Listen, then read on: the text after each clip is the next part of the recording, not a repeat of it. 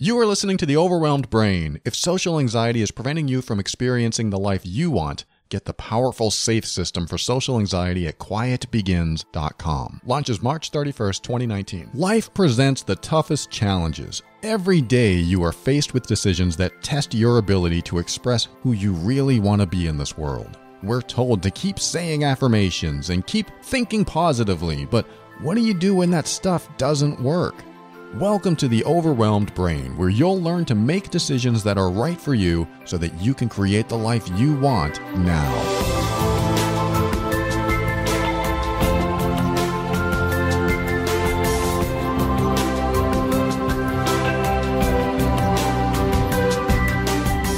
Hello and welcome to the show. My name is Paul Colaianni, and I'm here to help you increase your emotional intelligence so that you can stay out of dysfunction and toxic situations and also show up as your authentic self. Everything I talk about on this show is my personal opinion and is meant for informational and educational purposes only. Always consult a medical or psychological professional before making any changes that could affect your physical or mental health. So, I had a conversation the other day with someone regarding a high school reunion, and I noticed that um, some people are organizing my high school reunion uh, like 30 years ago, and I honestly don't think any of those people listen to this show. And I know I've talked about some of the people in high school that really bothered me. And I, I do wonder if they listen or tune into this show. Eventually, they may hear this show and uh, think, what? Why is Paul talking about me? Well, the people I talk about, they may or may not be the same people that they were in high school. So when I talk about these people, I'm talking about the experience I had then. I'm putting out that little disclaimer just in case anyone tunes in and says, What? He's, that's not who I am. Well, this is the experience I had then. So uh, when you hear about you, if you're listening and you went to high school with me, uh, if you're a different person, awesome. If you're not, then uh, that's not so good. At least some of the people, the way they showed up in my life when I was in high school, I don't necessarily want to see those same people again. However, if they've changed, great. It would be great to connect with you again. Um, the reason I'm saying this is because the conversation that I had with some friends had to do with um, this older woman that I know. She has her high school reunion coming up too. And she said, You know, I don't want to see any of those people again. and I said, I know exactly what you mean. I know exactly how you feel. Now, there were some people in high school that I wouldn't mind seeing again. I would like to find out how they are. Um, I just haven't really taken the time to look them up or reconnect with them. But there's also another reason. The people, first of all, that are organizing my high school reunion, a lot of them were bullies to me. They made fun of me, they pushed me around, they did things that were not pleasant. And quite frankly, it wasn't so much them showing up that way. They were young and some were very stupid. I'm just going to say it. Um, and hopefully they've improved their lives and they're different people.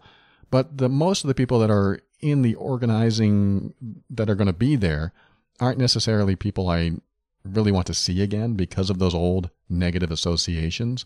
They could be very different people. I don't know. But do I care enough to go, hmm, let me reach out to those people again and see how things are going with them? It just doesn't really interest me. Now, if they reached out to me and said, hey, Paul, remember that time I did this and I'm, you know, I'm not that person anymore. I just wanted to apologize. That might be something different, but I'm not looking for that at all. Uh, in fact, I've healed from a lot of this stuff. Um, it's just, you know, some people you don't really care if you see them again.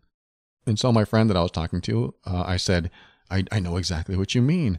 Uh, my high school reunion, reunion is being organized right now, and I have no interest in going. I mean, that's kind of sad, I guess, in a way.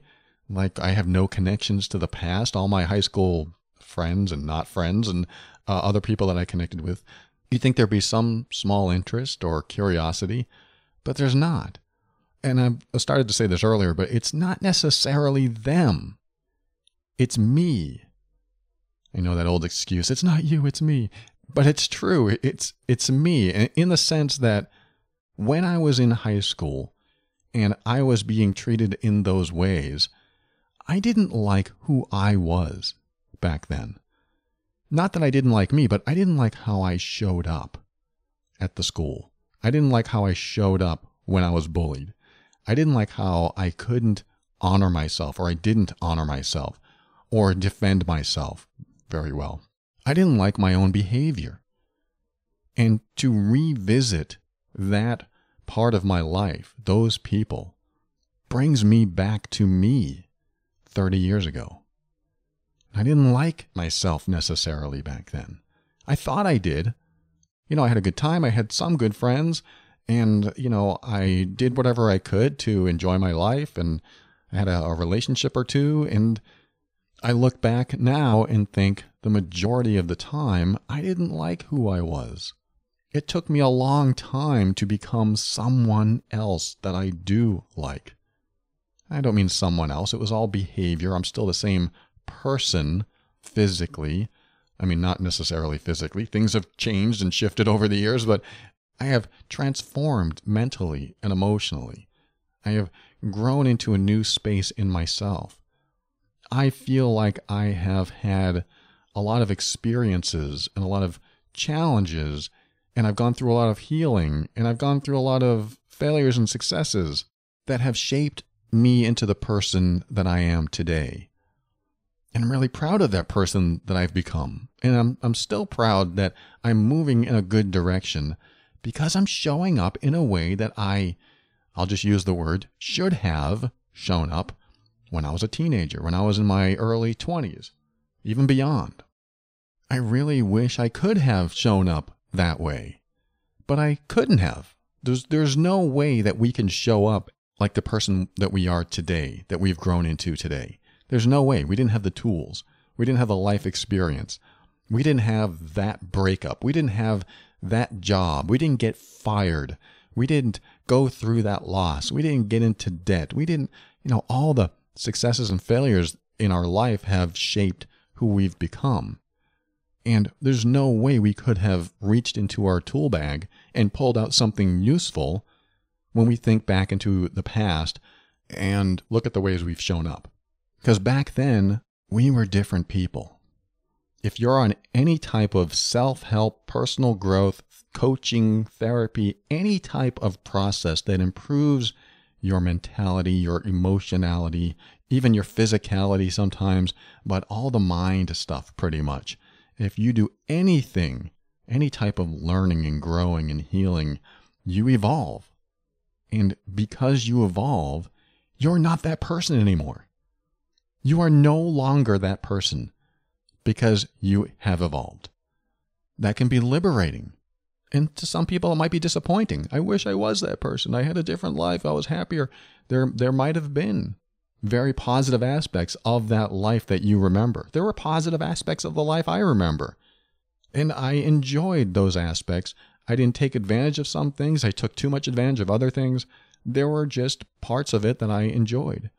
And those parts I either need to reintroduce into my life if I can, or take what I can. I mean, you might be at that place where I just need to take what I can. And also build new experiences. Because am I driving forward looking in the rearview mirror all the time? Am I looking behind me wishing today could be the same as it was then? Am I wishing and hoping these nostalgic feelings are going to come back into today and somehow change my life? Most of the time, that doesn't happen. I don't think that's ever happened. Well, once or twice it did happen in my life. Like I remember um, when I was 10 years old, I played on this pinball machine in a bowling alley, and it was awesome. I'm I'm speaking from the 10 year old self, although I don't think I use that word. But when I think about it now, it was awesome. It was a it was a fun machine, and at 10, it was all new, and the sounds and the feel, it was just incredible. And then I'm like uh, in my 30s, and on eBay I find that same pinball machine. It was, I mean, it wasn't the same one I played probably, but it was the same model, the same name, and it was broken and it was dirty and I've never owned a pinball machine, and I definitely didn't know how to fix one. But I just threw a bid on there just for fun. you probably know where I'm going. And uh, that fun bid turned into the winning bid, And I then had to pay for the auction, pay for shipping to bring it to my condo at that time and uh, do something with it. So, you know, I won and I was like, oh crap. what do I do now? I don't even know if I could fix this thing. But that nostalgic feeling was strong and I, I, I just wanted that pinball machine again. So I ended up getting it shipped to my condo and I spent months watching videos, learning more about electronics, soldering circuit boards, and putting the entire thing together. I mean, this thing was a mess. I was repainting it. I was um, heating up plastics and making them flat because they were all curved up from age and heat. And there were so many things involved. It took me a lot of time before I could even turn it on. But the day I turned it on and it lit up and it actually worked was amazing. It was just, it felt so incredible to see this piece of my past in my living room. and I I played that thing for I don't know how many years until I finally sold it. But it was it was just an amazing feeling. And that connection to my past, it wasn't about just reconnecting with that 10-year-old in me. It was about reconnecting with the magic and the mystery and the the novelty and the whole idea of just being with myself and connecting with myself in a way that I could totally enjoy being with me, enjoying who I was, enjoying how I felt with this machine in my hands and how it made me feel at the time. It wasn't as exciting as a 10 year old learning something new for the first time, but from the adult perspective, it's a totally different experience, especially when you rebuild it and you know exactly how it works. But it was amazing learning experience and it was just a whole new level of excitement and fun. But my point with that is you can't always connect with that nostalgia because you're a different person. When I built this pinball machine, I was a different person. I was not that 10 year old looking at this machine as if it were some spaceship. I was a 30 something year old looking at this rebuilt machine that I had put a lot of time and effort into it and had a lot of pride about and could just be in the moment with it knowing that I did this. I brought it back to life. It was a different feeling. And so it reminded me that it wasn't the nostalgia I was trying to connect with. It wasn't the old me that I was trying to connect with. It was only the feelings. It was only the emotions. It was only the wonder, the magic that seemed to have been lost. Or maybe not lost, but I wanted to find more magic in my life. But it's not that I wanted to be 10 years old again. It's not that I wanted to be that child. It's not that I know I could ever be that child. And this is important to understand, at least, you know, in my opinion, when it comes to the person that you used to be. Can you honestly say that that's still you? You know, you may have some of the personality quirks and some of the uh, old habits that never went away, or maybe you still have that same sense of humor, or maybe you are completely different. I think there's about, I don't know, 20 to 30% of who I was still in me because I definitely don't want to lose my sense of humor. I definitely don't want to lose my kindness and compassion for others. There's a lot, maybe there's 40%. There's a lot that was in me then that, that is still in me now. It's just transformed over the years. Just like there's a lot that's still in you that has been in you, hopefully more positive than negative, but you know, we carry the dysfunction uh, with us too. We carry the old effects of toxic relationships with us. We carry the negativity from dysfunctional upbringing and emotional triggers and sometimes PTSD from more severe negative upbringing, abusive upbringing. And in those cases, it's a lot harder to not be in that space. But that's, you know, why you listen to shows like this. That's why you go to therapy. That's why you seek help so that you can get through this stuff so that you can reconnect with the more positive things in life and the more magical and wondrous and curious things in life so that you, you're not stuck in old past negativity. There was a lot of old negativity in my past, and going through that healing process made me realize oh, I don't necessarily want to be that person in the past. I like this new person I've become, which is leading me to my main point, which I've already said in so many words you are not the person from the past.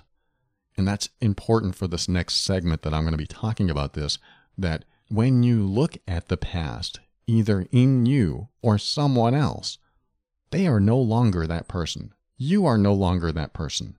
You are a different person. Even if 90% of who you were followed you through the years, that 10% can be the biggest difference that makes the difference.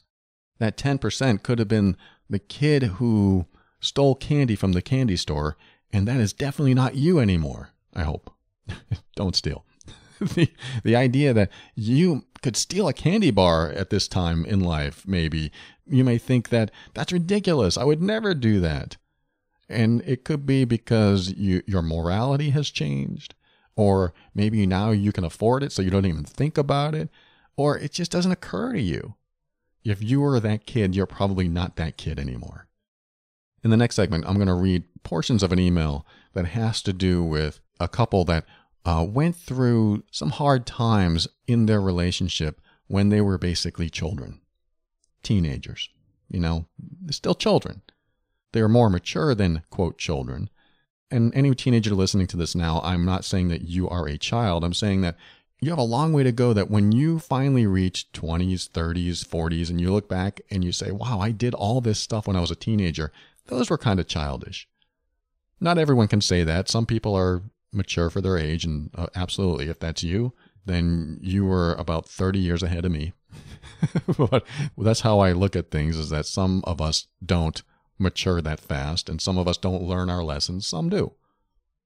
But for those of us who were doing things that we're not so proud of as children or teenagers, we have to remember that if we're not proud of those things today, then we are different people.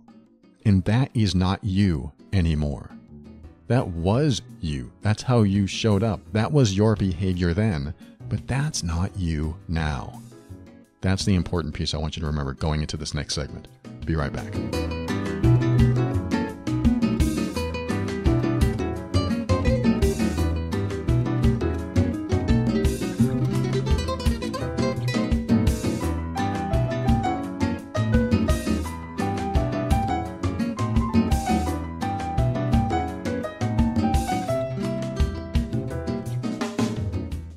We are in the final days counting down to the launch of the Safe Empowerment System for Social Anxiety.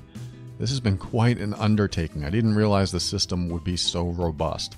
But this is good news because of what's packed in there to help you with social anxiety. There are so many angles and techniques, including ones that I've never heard of and would never have thought of before. And these are all designed to help you minimize and sometimes even eliminate your social anxiety. Last year, I asked eight experts that have all had moderate to severe social anxiety in their lives to help me create a product that reaches almost everyone. Each one of these experts share their most effective, most valuable, and most applicable teachings. Stuff they put into their own products, courses, and other material to help those they reach. People like Dr. Bernie Sewell with IncreasingSelfWorth.com, balanced lifestyle coach Matthew Bivens, someone you may have heard on this show on occasion with the Having It All podcast, anxiety coach Tasha McLaren at tashamclaren.com, and a bunch of other experts and previous anxiety sufferers who have found a way out and have contributed their time and knowledge to this system to help you relieve your social anxiety too.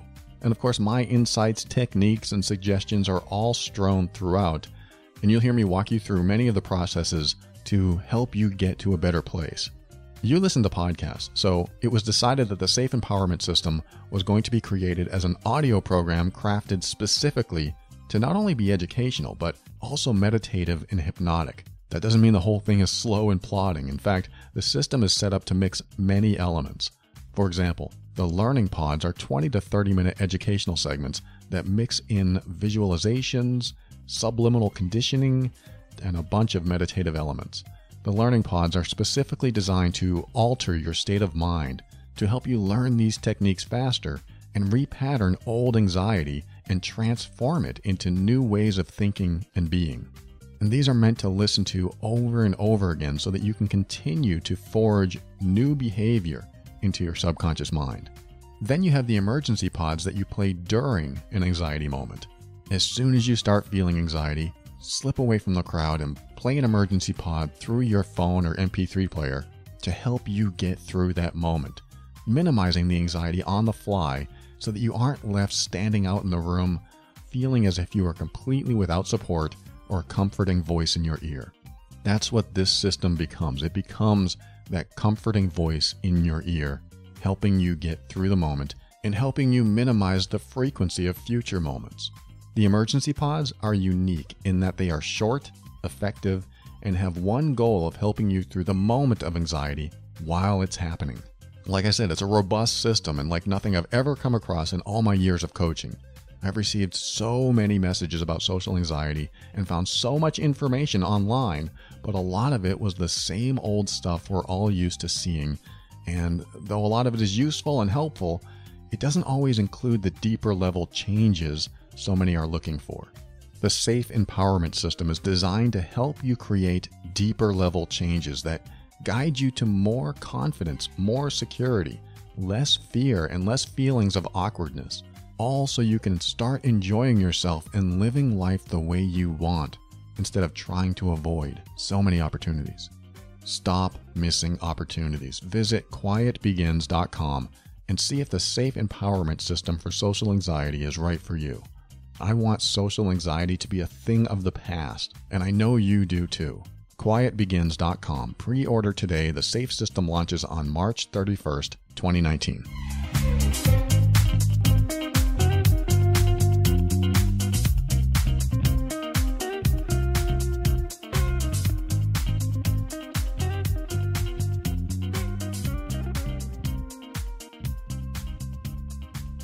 All right, you remember what I said, right?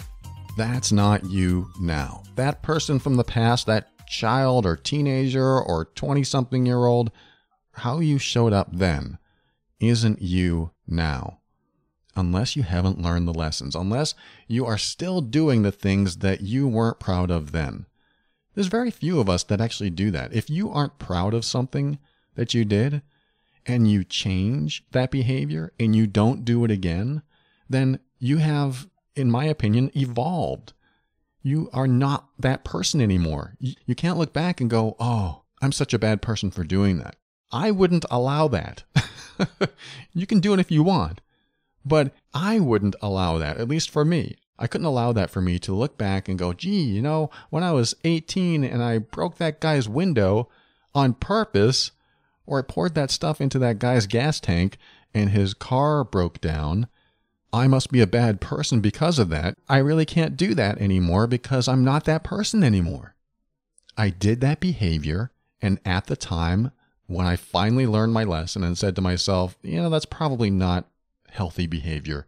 That's probably not moral or ethical or definitely legal behavior. That's probably not how I want to show up in the world. That's probably not how I want to be remembered when people think of me, oh, remember Paul? He used to do all this criminal activity. I wasn't a huge criminal.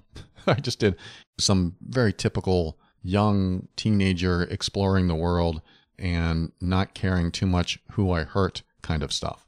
I shouldn't say typical. Not all teenagers are like that. I should put more stereotypical. Well, he's a young guy. He's going to break windows. That's what the young guys do. That's stereotypical. I was that guy. And I only did things like that just infrequently. But I look back and go, I never want to be that person again.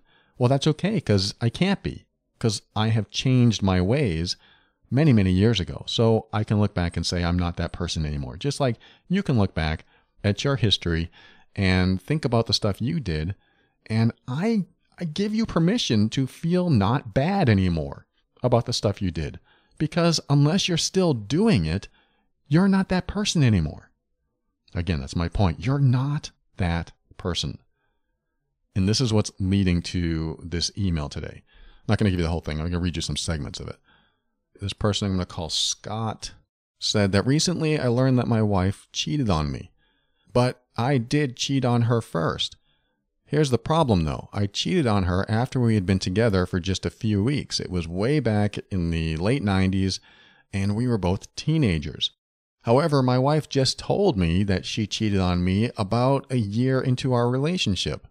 And um, this blew my mind. I didn't know this happened. And I figured out that basically the love of my life had a second boyfriend in our second year of dating. And then he, he goes on to say, Before you judge me, understand that I have yelled at myself about being upset about this because it's been so many years. It was over 20 years ago. I've said things like, come on, it was almost 20 years ago. She loves you. You cheated first anyway. You're acting like a child. You're going to ruin your life. These are all the things that Scott said to himself.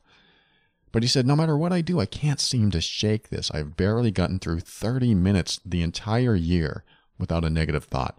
Seriously, 30 minutes. It's safe to say that it has sent me to a level of depression. I've been to two psychiatrists and they were not helpful. They seemed like they had no clue what I was talking about and just kept saying, forgiveness, forgiveness. I've read self help books and listened to podcasts like yours, but every day I wake up and the negative thoughts are still there. I'm really concerned at this point. I've already made things weird and done irreparable damage in the relationship.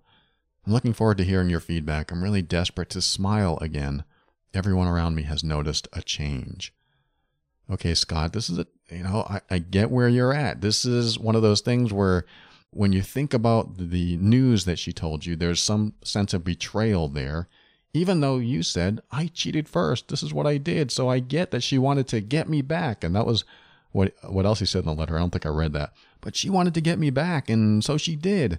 But I just found out about this, and I found out that even a year or two into our relationship, she had another person that she was cheating with. But he knows that it was 20 years ago. He felt bad for what he did. He never did it again. And his wife that he's been married to ever since, you know, this is a long time ago, she went through her thing too when she was young, and she was younger than him, and they were both teenagers. And now he can't get it out of his mind. He can't stop thinking about it. It, it was like it happened yesterday, and, and it's just so fresh in his mind that he, he can't process it. He can't digest this information. So, you know, there's some stuff going on here. I know what it feels like because before, uh, when I met my wife, she had a past that I was totally against. I hated it and I I would visualize her with other people, and it drove me crazy. My own thoughts drove me crazy. But she wasn't showing up as that person from her past. She was showing up as the person she is today, or at least when I was married. She was showing up as this new woman that wasn't that old little girl or little woman, however you want to look at it. And you already know what I'm going to say is that your wife, Scott, is not the same person she was. Because I guarantee you, if she was that same person, you wouldn't stick around. Or at least if you stuck around, you would be a lot more miserable. Because you can look at this person and think, would she ever do this to me again? I mean, ask that question. Would she ever do this to me again? Because if you answer, well, I think she would, then this has nothing to do with anything but trust. And you need to work on that. You need to tell her, look, I don't trust you. That may not be a conversation that goes over well. It may end up being, what? You don't trust me after 20 years? What? But knowing that this person isn't that same person she was. I mean, let's just pretend that she had a metamorphosis and her soul was switched with someone else's soul and now you had that person from that point on. Let's just kind of play with this. The person that she was was no longer there, and there was a new person, a new and improved wife, if you want to look at it that way. Uh, now I have this new and improved person in my life. When you think about that, does it change your thoughts? Or do you go, yeah, but uh, that body uh, was with someone else? Or do you go, who she was isn't the same, so I don't expect the same behavior, and that makes me feel better?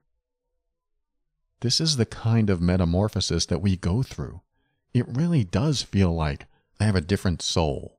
I mean, maybe not that deep, maybe not that spiritual, but I certainly have a different values system, a different belief system, different outlook on life, different perceptions.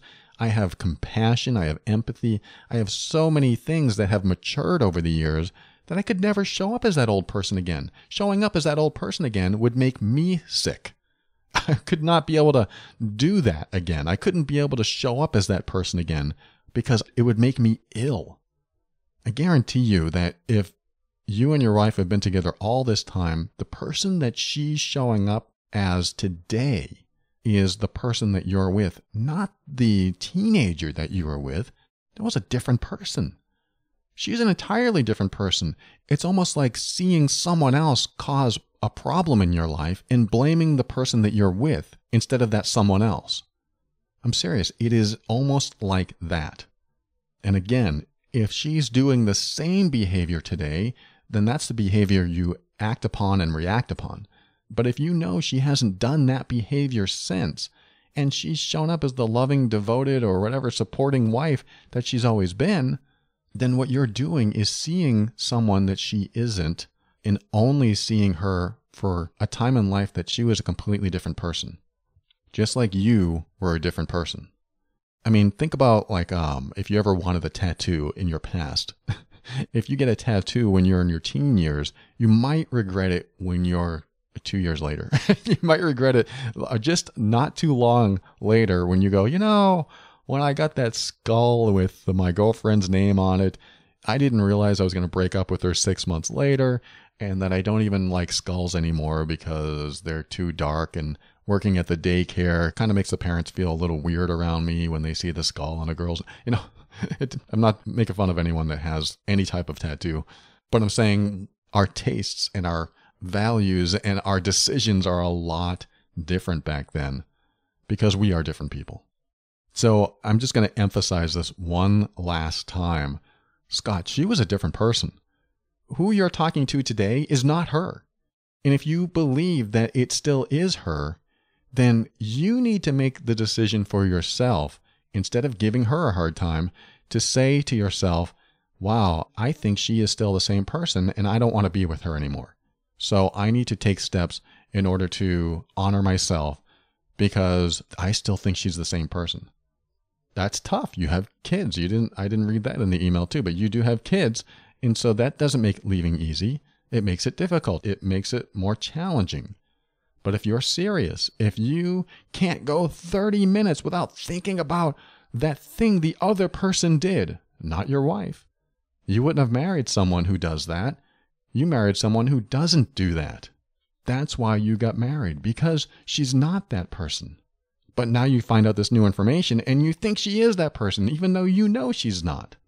And I know you're fighting your own rationality with this. You even said to me, I've been yelling at myself. It was almost 20 years ago. She loves you. You cheated first anyway. Why am I acting like a child? Because you are thinking about it from the child's perspective when you were that age. Who are you now? What do you want for your life? What do you want for your future? Do you want this woman in your life? Let me go a little bit dark here. I'm going to go a little bit dark in a way that helps you prioritize what's most important to you. Let's just say that your wife came up to you and she said, Look, you've given me a hard time. I'm packing up tomorrow. I am moving away and I never want to be with you again because you're ridiculous. I can't handle it anymore. You're on your own. Grow up. I'm out of here. Let's say that she said that to you. I mean, really visualize that happening. I'm going to pack up tomorrow. I'm out of here. I can't stand it anymore. Really put yourself in that place. Because what you're going to find out is what's most important to you. And when you do this exercise, your brain has a tendency to change in ways that are in your highest interest. It may sound a little strange, but when you put that type of showstopper in, that you have no choice but to accept what's happening now, when you give yourself no other option but the worst case scenario, and that's not even the worst case scenario, but let's just throw that out there. I'm leaving tomorrow. I am packing up. You are so ridiculous. You are being a child, just like you say to yourself, and I can't stand this anymore. Goodbye. How does this make you feel? Where does your mind go with this? Scott, or anyone else going through this, I want you to stop this recording right now and really envision that happening. Because your brain is going to transform a little bit here. Your brain is going to come up with new priorities. All of this is going to start sinking in, and you're going to make a decision. Just stop the recording now and go through that process. Now, I'm going to assume that whoever is going through this exercise has stopped the recording and has come back and has a realization of some sort. I could be just guessing here, but there's usually a realization. There's usually some sort of enlightening thought a new prioritization in your mind that helps you consider things to the point where what used to plague your thoughts no longer does. And let me give an example of that. And if you've listened for a while, you've heard me say this. After my wife and I separated with the hope of working and improving on ourselves and getting back together, after she left, I had an opportunity to be with my own thoughts for the first time in many, many years about my marriage and about how I was making her unhappy. I wasn't being supportive. I was being, in many ways, emotionally abusive, highly judgmental. I was making her life miserable, and she was losing her zest for life. She was losing her passion. And at the time, before we separated, I thought it was her. Oh, she's going to go find herself. That was my thought. But when I was in my own thoughts, without anyone else's influences, I was just sitting there in my own space. The thoughts about my judgments about her behaviors, because I was at the time really emotionally triggered by her emotional eating and I was giving her so much grief about it. And she was already dealing with that challenge on her own, and I was compounding that challenge for her by being not supportive and being against her emotional eating, which caused her to emotionally eat more.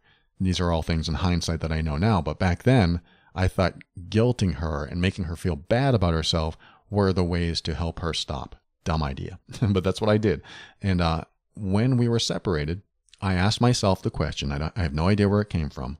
If you have such a problem with her emotional eating, why don't you just leave?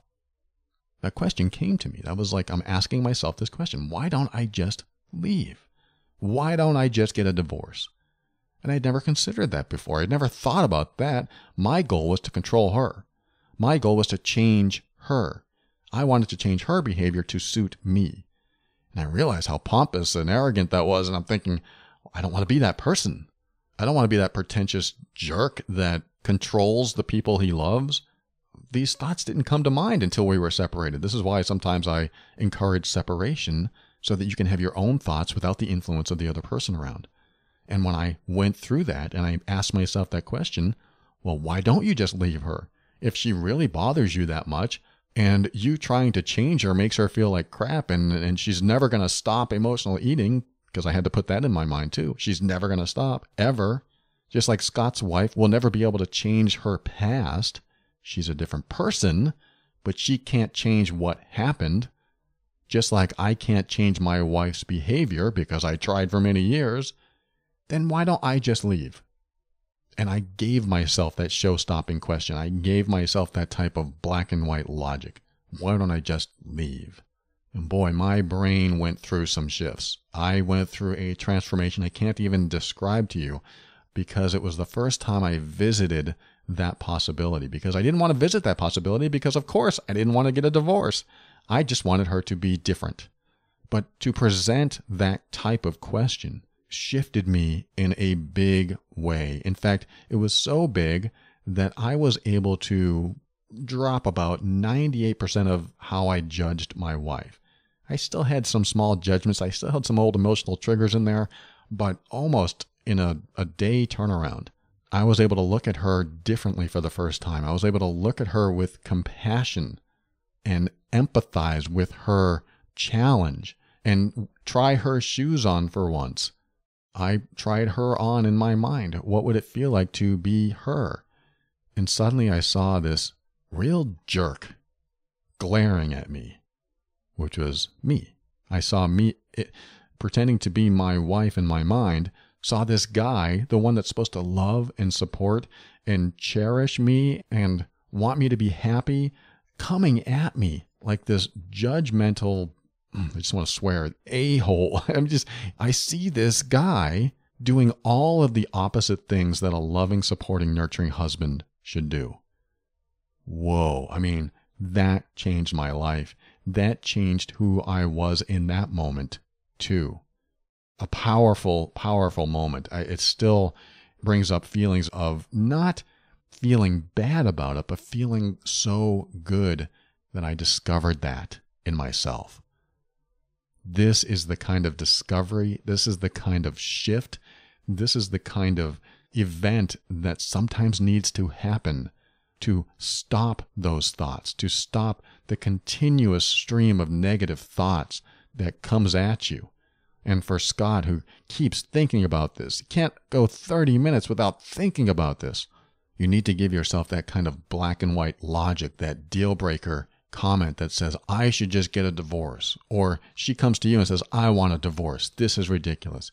You need to put yourself in that place where the worst case scenario or up to it is happening now. Or how about a little darker? I said this is going to be dark. I want to go a little darker. Darker would be oh no, my wife has um, a terminal disease and she has four months to live. That's it. Four months. You've had it checked out by six different specialists. She has four months to live. Is that thing she did when she was 17 or 18 so damn important that you've got to continue stewing over it? Is it? I'm not trying to give you a hard time. I'm saying this out of love and respect for you and your plight, your challenge. I've been there. I know what it's like. I've thought about my previous girlfriend's past and I've been upset and I can't stop thinking about it until I reached a place of some sort of ultimatum that I give to myself. Why don't I just leave? What if she's going to die in four months? What do I feel about it then? This is really next level, push your brain to the limit stuff. as far as personal growth, as far as evolving who you are, as far as getting beyond where you are with this. Because if you aren't able to get beyond this, you're going to destroy everything that you love. It just happens. And I think you know this, Scott. I think you know that this is destroying you. You're getting depressed. There's all kinds of things happening because of this. But it's about time you just brought up some really awful, worst case scenario thing and said, if this happened, then what?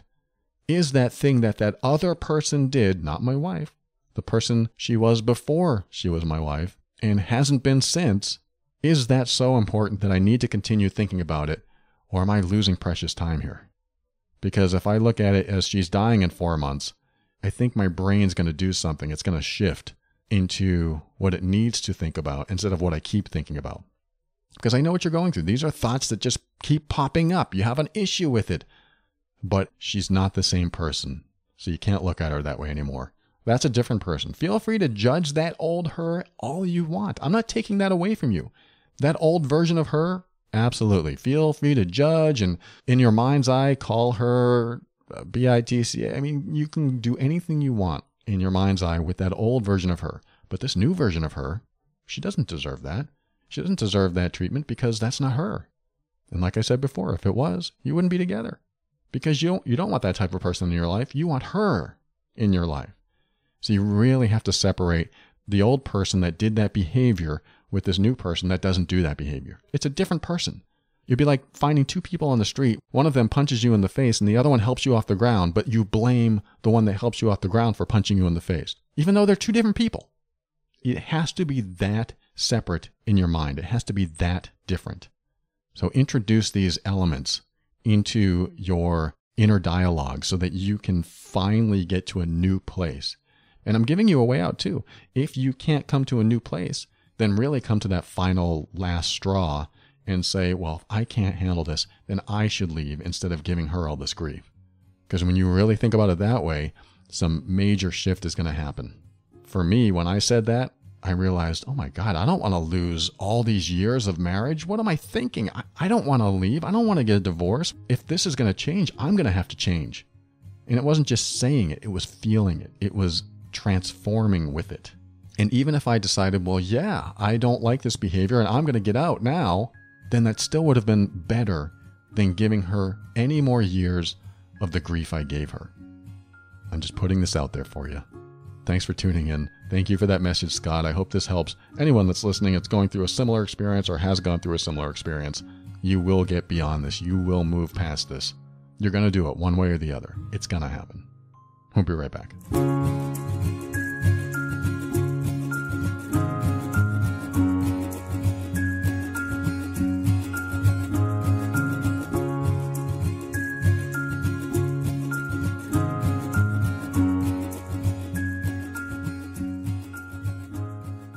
Thank you for listening to another episode of The Overwhelmed Brain. A reminder go to quietbegins.com and check out this safe empowerment system for social anxiety. It may be exactly what you need. Quietbegins.com. And also, if you're subscribed to this show, you've probably already heard the episode when you're constantly defending yourself, and that is an emotional abuse tactic that uh, certain people will do in your life to keep you on the defense so that you stay f- focused on yourself instead of the bad behavior they're doing.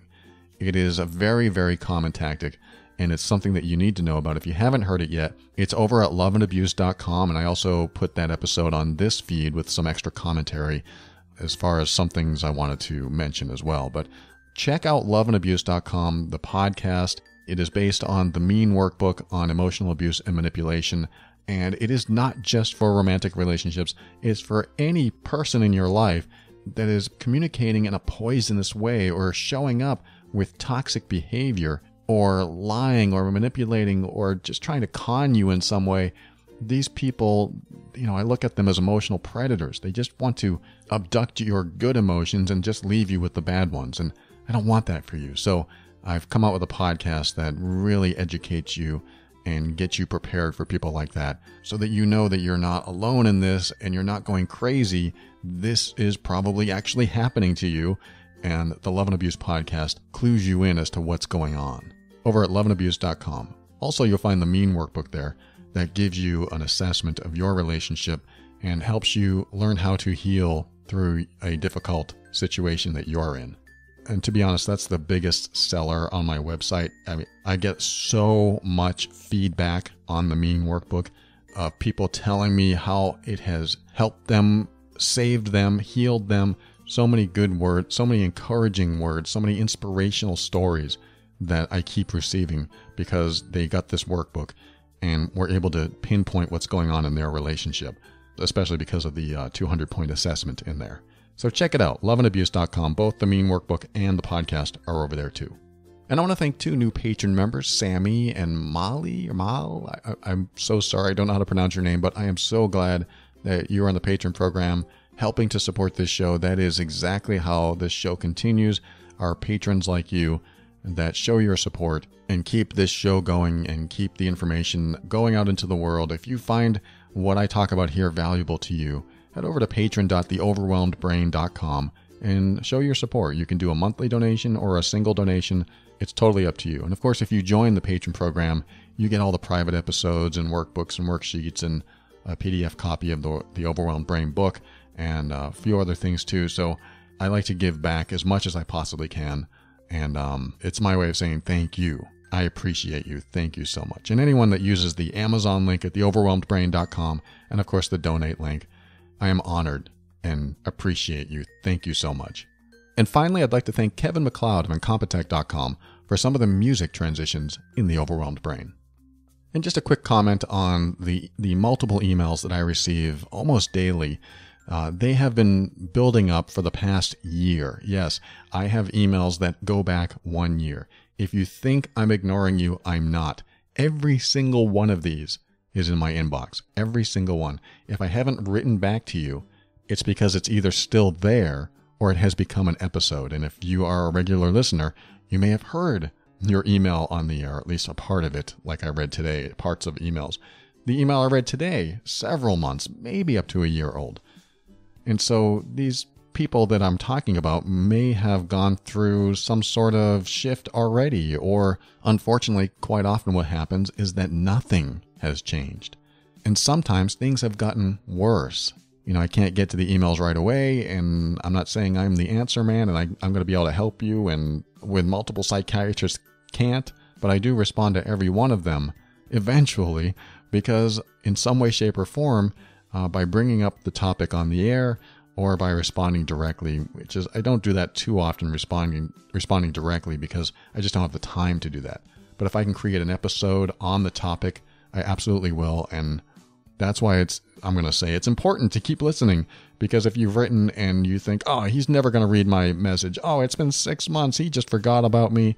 What a jerk, you know? If you think that, it's not true. I, I still have it in my inbox and I realize things may have changed for you, but the messages that you send me are important and I want to get them out there and at least give you my insights and opinions on them just in case it helps you or anyone else through what they're going through. Just like Scott, he wrote that message today. Again, I made up that name. Uh, but you know, Scott has these thoughts that are plaguing his mind and he just can't get rid of them. What do I do? How do I get rid of these thoughts? And he may have had to continue dealing with this because he haven't hasn't been able to find anything that helps him. I try to cover every single topic I can on this show so that you have some sort of reference. Like I said, it may not be the solution that you're looking for, but it gives you a new perspective, new ideas, hopefully a new direction to take so that you have some sort of alternate path to follow than the one you've been on.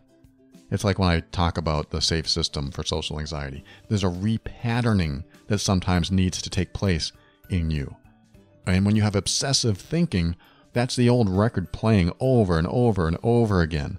And you get sick of that record. You, you just want to get out of it. You even know, like Scott, he even knows it's irrational. Why do I keep thinking these thoughts? And even when I don't address the email on the air, you're going to hear other ideas on this show. You're going to hear other perspectives, other techniques that I've learned or I've made up throughout the years to help you get beyond stuff. Like obsessive thinking, that is a continuous repetition of the same thoughts over and over again. Sometimes you have little tweaks, sometimes they're worse, sometimes they're not so bad, but they're the same outcome every time. You just feel bad, you just don't like it, and you can't get past it. And one of the things that I've learned over the years is that when you have something that you think about that causes you to feel bad, angry, upset, is asking yourself, when I think about these things, do I imagine them the, the exact same way every time? For example, do I imagine that same person in the same position, uh, saying the same things, in the same room, at the same point in my life, with all the exact same memories that I had going on at that time. Like remembering when you were 16 and that person bullied you, and it was in school right next to your locker, and you remember the halls were crowded and no one was helping you. There's all kinds of variables and facets to a memory that are burned in there that keep replaying itself. I love the idea of just changing aspects of those memories so at least you're not playing the same movie over and over again. This literally can change history. I mean, that's what they call it in NLP changing history. You can actually change the memory by changing aspects of that memory. And what I mean by that is if it happened in school and the hall was crowded with students, how about crowding the hall with beach balls instead of students? you just change an aspect of it. And instead of standing next to a locker, you're standing next to, uh, how about a, a totem pole of garden gnomes or something. And instead of it being a 15 or 20 foot wide hall, how about making it 100 feet wide? How about putting windows in the ceiling so the sun's shining down? You know, you can still have the same memory, uh, using this example of someone bullying you in school, but adding these other features changes something. It changes the feeling. And how about when they bully you, they speak like someone that sounds like a complete idiot? I don't want to make fun of anyone in particular. I, I like to use a donkey's voice. so when they start speaking, I can see the donkey teeth, I can hear the donkey's voice coming out, and I have a different feeling. This is what I like to do with obsessive thoughts is I like to change the variables, change the facets. I like to change all kinds of things, the visuals, the sounds. And by doing that, by changing different aspects of it, you know, you can paint the walls a different color. You can put um, you can put big goofy donkey head on the, the person that's bullying you, and suddenly the memory has a different feeling, a different effect. And as you do this, as you repeat this process over and over again and have different things going on every time, trying to get back to the original memory without having a different feeling and maybe even a laugh instead of that old nasty feeling that you, you don't like. That starts changing things for you. That starts creating a different type of association so that maybe, just maybe, you can go a lot longer the next time before remembering it in that same way. And maybe you can go even further than that. Instead of days, it's weeks. Instead of weeks, it's months. Instead of months, it's years. And years later, it's very hard to remember some traumatic event the same way because you've changed it so much. The brain is capable of doing this, and you are capable of helping it along. You can do this. It may not help with the deepest traumatic things in the world in your life, but why not try it? Why not? Again, remember my disclaimer at the beginning of the show don't do anything without a psychiatrist or a mental health professional, so on and so forth. But after you get their permission, try it. See what happens. And no matter what, keep an open mind so that you can step into your power. This will help you be firm in your decisions and actions so that you can create the life you want. Always take steps to grow and evolve. You are powerful beyond measure. And above all, and this is something I absolutely know to be true about you. You are amazing.